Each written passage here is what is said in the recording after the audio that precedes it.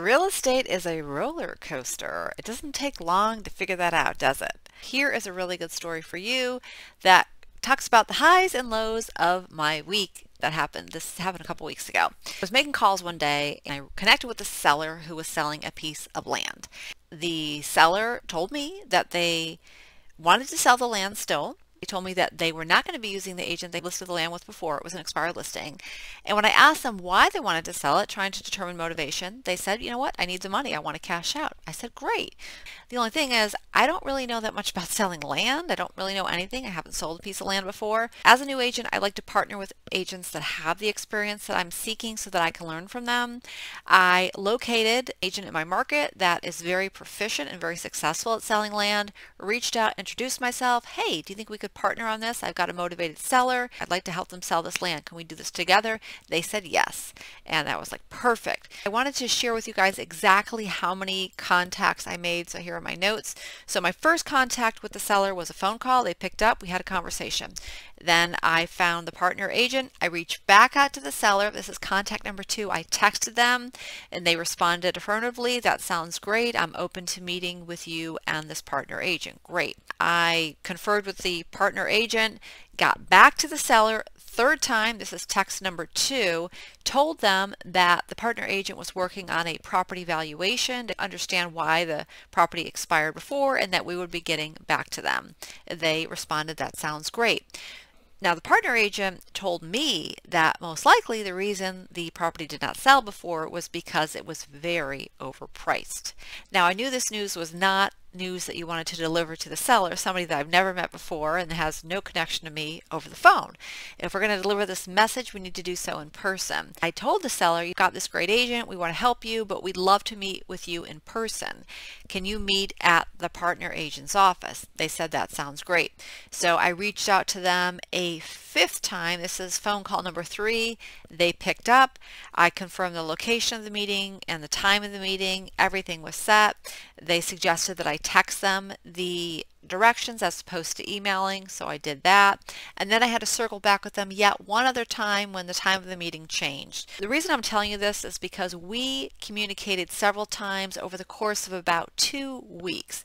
Now this seller was not super talkative.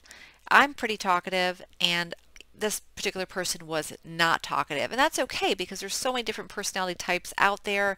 When you're in the business world, you have to learn how to get along with all different types of people. And I, I say that because my connection with them was not like rock solid, like, you know, we had like a really good solid banter going, but they were responding to me, they were engaging, and they seemed like they were motivated to sell. And they were not going to use their previous agent. They had told me that. I thought all systems were go here.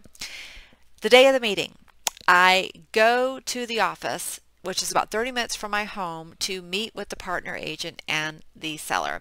I get there and the seller is not there. I exchange a few pleasantries with the partner agent and we wait a little while and the meeting time comes and they're still not there. I said, well, let me just give them a call, make sure they're not lost. I call the seller and like usual, they pick up the phone. I identify myself and then the line disconnects. Did they hang up on me or are they just in a place with bad service? I don't know. But I'm getting really nervous right now. I'm embarrassed because I've got this other seasoned agent here. I'm in their office. They've agreed to meet with the seller. It's not looking good at this moment. So I call them back. The call goes straight to voicemail. I'm like, oh my God, this is this is not happening. This is not happening. I'm like seriously mortified right now, just really embarrassed. I know it's not my fault per se, but it's like I was really looking forward to this appointment because here I am, I'm going to sell land. I have a potential listing on the horizon, a co-listing, and the seller is just disappearing right before my eyes. I text them, are you having a hard time finding it? You know, do you need directions? No response.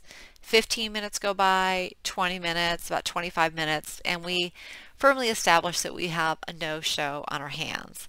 The partner agent was super nice. They've been in the business like 20 years. You're like, don't worry about it. This kind of stuff happens. I just felt really bad. They had set time aside on their calendar to meet with the seller and the seller's a no-show. And I kept, you know, racking my brain, like, how can somebody do this? I mean, I personally feel horrible if I'm going to be like 10 minutes late to a hair appointment. You know, I'm going to call them. It's like, hey, I'm running late. I can't imagine standing somebody up for a business appointment. But I'm thinking, okay, maybe they have some kind of emergency situation. But yet they picked up my call and didn't say anything about it. So at the end of the day, there's so many different people on this planet with different codes of conduct. And I'm guessing they just had a change of heart and they don't want to sell it right now. But instead of coming right out and telling me that, or just telling me anything, they just completely turtled. They went under their shell and that's it. Like I don't I don't know what happened. So I was so disappointed. I drove home and I got my real estate partner on the phone and you know she was like don't worry about it it's okay and you know I was like yeah I know but I really could use another listing here and it was just it was just really really disappointing. But I'm sharing this with you because as I preach to you and I had this in one of my uh, videos not too long ago we don't have the luxury of being down and analyzing what happened here. We just don't because time equals money and I gave myself that 30 minute car ride home to think about it and wonder about it and be sad and disappointed and angry and all that. And I was like, okay, put it behind you. Let's get back on the phone. Let's start calling. Let's do what we need to do. And that's exactly what I did. The week progressed, and at the end of the week, I got my listing in contract for another seller. So I was super happy.